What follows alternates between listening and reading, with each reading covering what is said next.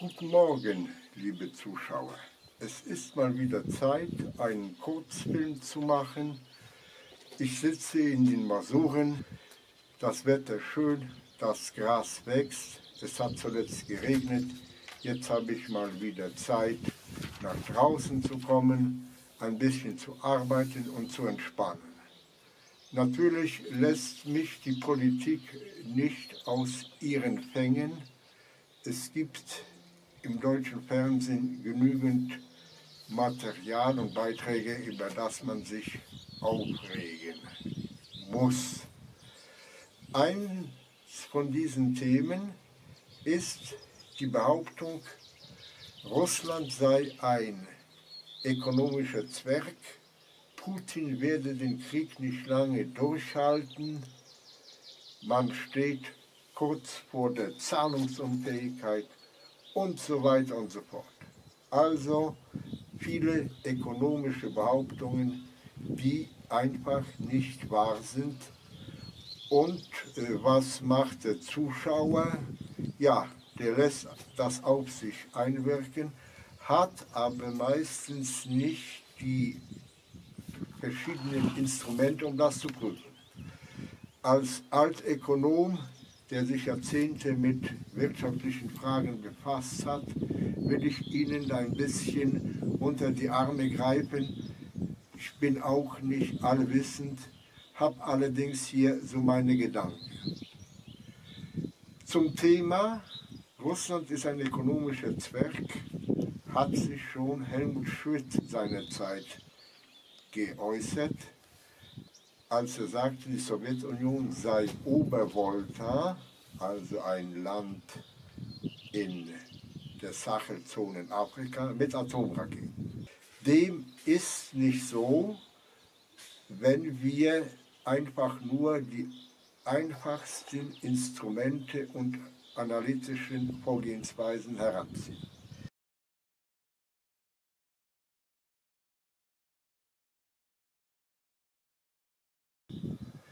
Wenn man das jetzt aufgreift, würde man vielleicht auf die Idee kommen und sagen, Russland ist vielleicht eine Kategorie schwächer als Nordkorea. Die Kochtöpfe sind leer, man hat Atomraketen, rüstet und kann sich das gar nicht leisten. Das Volk leidet. Ich fange mal jetzt hier damit an, zu fragen, was ist denn eine Wirtschaftskraft? Eines Landes, kann man dann die Wirtschaft messen, die Stärke der Wirtschaft messen. Und hier muss ich Sie sofort enttäuschen, es ist nicht eindeutig, weil es sehr viele Indikatoren gibt, die ich jetzt hier gleich nenne, nicht alle, nach denen man zu unterschiedlichen Aussagen kommt. Es werden auch verschiedene Messmethoden für den gleichen Indikator verwendet, was noch die Sache erschwert. Das ist so wie bei einem Fußballspieler, der hat verschiedene Stärken und Schwächen und so ist es bei der Wirtschaft. Ein Fußballspieler kann schnell sein, kann äh, ja, gelenkig sein, kann äh, gut äh, mit dem Ball umgehen. Im Endeffekt kommt es aber darauf an, wie viele Tore er schießt. Also, wer im Fußball gut ist, ist auch eine Bemessungsfrage oder eine Anschauungssache. Dahingegen nur mal als Beispiel aus dem äh, Sport wäre ein Leichtathlet, ein Weitspringer eindeutig zu bewerten. Wenn einer 8,42 Meter springt und der andere nur 8,20 Meter, ist der erste besser. Das ist hier eindeutig. Also bei der Wirtschaft gibt es keine eindeutigen Aussagen. Nichtsdestotrotz müssen wir uns dem Thema nähern. Da wird immer an erster Stelle das BIP, Bruttoinlandsprodukt genannt. Das BIP ist eine Einkommensgröße. Es ist keine Vermögensgröße, eine Einkommensgröße. das, was wir privat verdienen, wird jetzt übertragen auf einen Staat und man fragt, was verdient, was erwirtschaftet ein Staat. Das Erwirtschaften hat nicht unbedingt etwas mit Arbeiten zu tun, weil man kann ja auch Fehlleistung produzieren. Ich denke jetzt hier nur an den Berliner Flughafen. Da wurde viel gearbeitet und es kam unter dem Strich ein Verlust raus.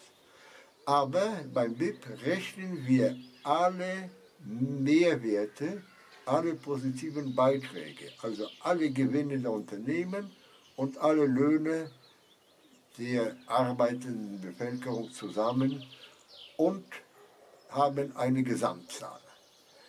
Ja, die Frage ist, wie wird denn das äh, BIP gemessen?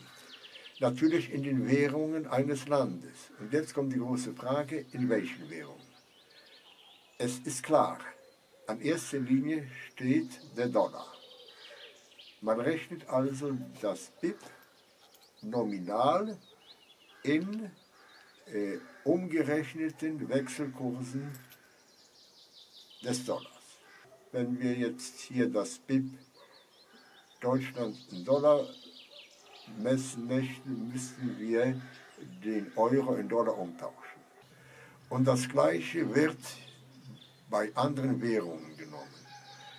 Ganz konkret auf Russland bezogen, der Rubel wird nicht nominal berechnet, dann würde er massiv schwanken.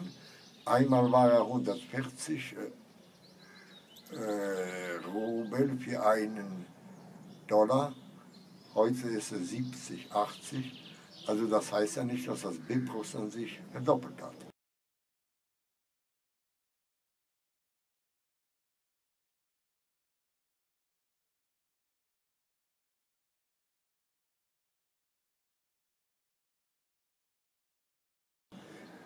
Schwankungen der Währungen sind in der Kaufkraftparität allerdings nicht äh, präsent.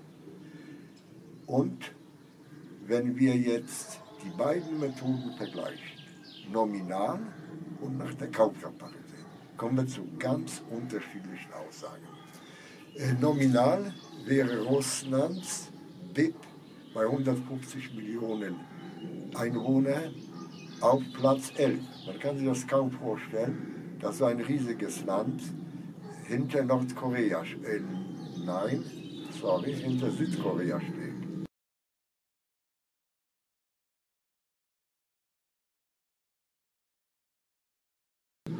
Und auch hinter äh, Italien oder Kanada.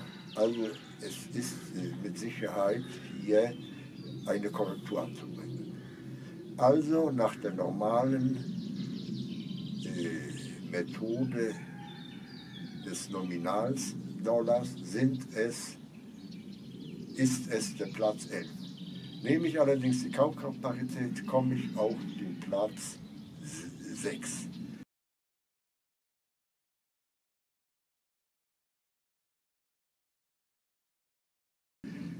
Vor Russland steht dann China, USA, Indien, Japan und Deutschland. Im ersten Fall Berechnung nach dem Nominaldollar kommen wir auf ein BIP von 1,6 Milliarden. Nach der Kaufkraftparität Dollar sind es allerdings schon 4,1 Milliarden. Also Sie sehen, dazwischen liegen Welten. Das zweieinhalbfache, genauer gesagt.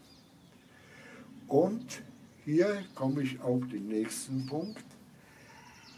Es hat sich herausgestellt, dass alle großen Schwellenländer nach der Kaufkraftparitätmethode wesentlich besser dastehen als die großen äh, westlichen Nationen.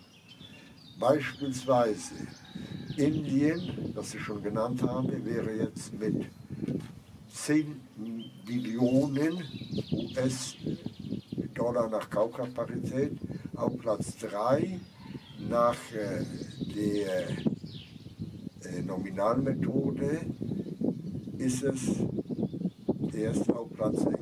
und so weiter und so fort. Ich glaube, ich habe euch das erklärt und wir wollen dieses Thema nicht mehr weiter in die Länge ziehen. Zum nächsten Punkt komme ich jetzt, indem ich auch euch mal sage, wie sieht dann jetzt die Zukunft aus? Da fragen wir nach den äh, Wachstumsraten, nach der Entwicklung, nach dem Tempo, äh, mit der die Wirtschaft wächst.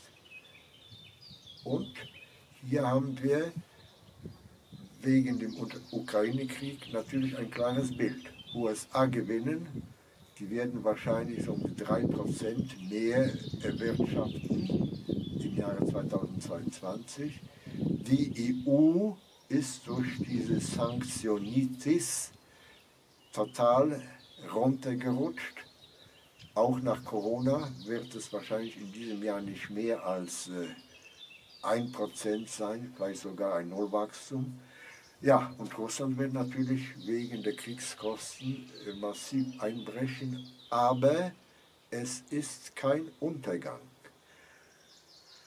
Experten rechnen mit 8,5% Minus und mit Experten meine ich die äh, Wirtschaftsfachleute vom IWF und von anderen äh, Instituten wie Weltbank oder OECD.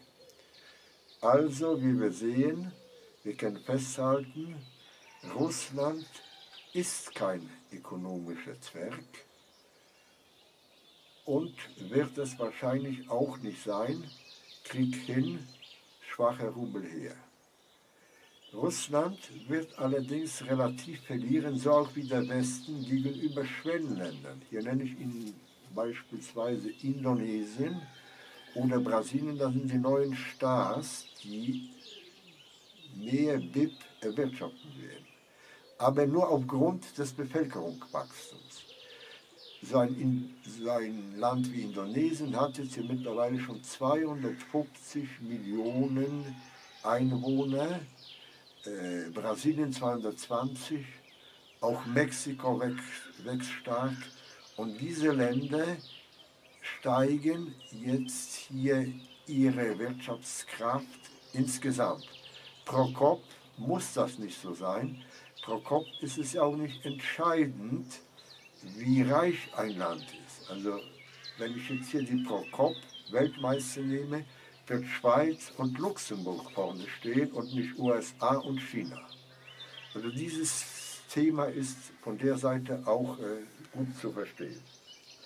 Vielleicht noch mal nur als Appetitanreger ein Hinweis auf den zweiten Indikator, das Vermögen eines Landes.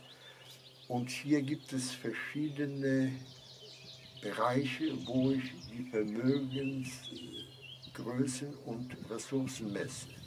Also das wäre zum ersten das Finanzvermögen, dann das Sachvermögen und zum Schluss die Bodenschätze. Finanzvermögen ist im Grunde genommen das, was man an Vermögen angesammelt hat. Beispielsweise die Japaner haben da äh, im Laufe der Jahrzehnte als ganz fleißige Sparer viel angesammelt. Die westlichen Industrieländer sind natürlich hier beim Finanzvermögen führend, weil sie durch ihre Wirtschaftskraft, durch den Kapitalismus die Zeit hatten, das Vermögen aufzubauen.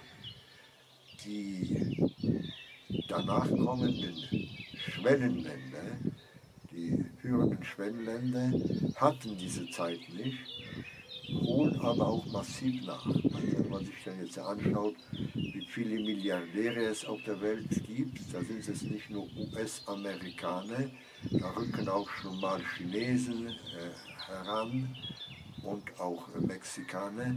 Und hier bei dieser Gelegenheit auch ein Hinweis, Russland ist ja auch nicht führend.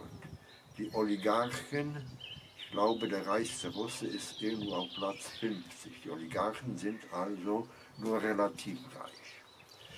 Beim Sachvermögen muss man direkt sagen, hier geht es um die Infrastrukturinvestitionen, äh, ja, Flotten, äh, Flugzeuge, Fabriken. Da gibt es allerdings keine Statistiken. Hier kann man dazu eigentlich wenig sagen. Dann bleibt noch zum Schluss der Faktor, die Bodenschätze. Und hier muss man ganz klar sagen, die Russen führen da eindeutig.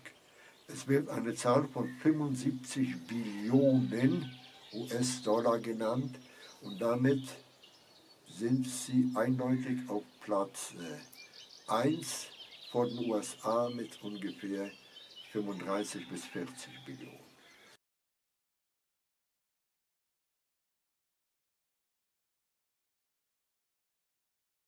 Aber dieses äh, Vermögen steckt an der Erde und äh, kann vielleicht als Wirtschaftskraft nicht so direkt genommen werden, weil ja der Mensch hat hier nichts geleistet zunächst mal. Er ist der Besitzer.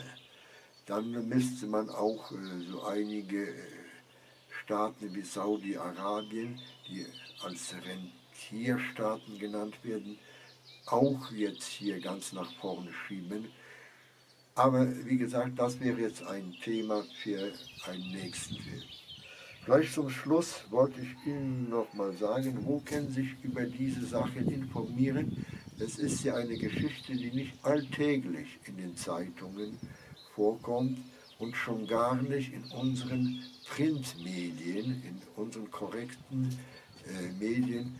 Da haben die Leute einfach opportunistisch sich für, ja, für das bequeme Leben äh, entschieden. Wenn jetzt hier jemand behauptet, Russland geht bald pleite, äh, trotz mehrerer Milliarden äh, Finanzvermögen, auch nach der Kappung durch die westlichen Länder, der weiß es mit Sicherheit besser. Aber wenn er bei der ARD arbeitet und vielleicht ein Zehner nach Hause bringt, einen sicheren Job hat, an die Altersversorgung immer, äh, immer nicht denken muss, der wird natürlich jetzt hier sagen, gut, ich sag mal das, was man von mir verlangt. Viele Helden gibt es nicht auf der Welt. Ich muss Ihnen ehrlich sagen, als ich bei der Bank gearbeitet habe, hat man auch Finanzprodukte gelobt, die eigentlich Schrottpapiere waren und die Antwort, äh, wenn man unter den Kollegen äh, kritisch einige denn da an den Pranger stellen wollten, der sagte, was wollt ihr? Ich habe Kinder. Ich habe zwei Kinder, die muss ich ernähren. Wenn ich jetzt hier nicht sage, was die Chefs von mir verlangen, dann kann ich mir einen neuen Job suchen oder Belege sortieren. Klar, Einige, die zwei Kinder hatten, haben natürlich so gesprochen und so die Finanzprodukte gelobt, als ob sie vier hätten. Aber ich will jetzt zu den Quellen kommen, die ich euch empfehlen kann. Ich hatte seinerzeit äh, auf einem Portal, äh, der heißt äh, Wall Street Online, sehr viele Artikel geschrieben über Russland, China, die Emerging Markets, das werden so ungefähr gut 30 sein. Die werde ich hier in diesem Film einstellen, die wichtigsten, sodass ihr euch selber informieren könnt. Ich würde sagen, wir würden jetzt hier gut tun, an dieser Stelle äh, Pause zu machen. Das nächste Mal juckt es mir, einen Film über die Fake-Information, dass Russland zahlungsunfähig ist, zu machen. Und da habe ich auch schon einiges vorbereitet. Äh, also, vielen Dank fürs Zuhören und bis zum nächsten Mal.